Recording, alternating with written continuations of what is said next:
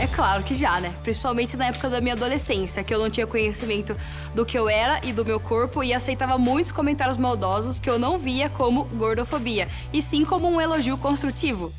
Já tive amigas gordofóbicas, não só amigas, como também familiares gordofóbicos, coisas que não vou negar, por muito tempo foi um grande problema para mim. Porém, depois que eu me impus, descobri a grande mulher linda que eu sou, isso nunca mais me abalou e nunca mais foi um problema também. Can't stop us. We're the chosen one.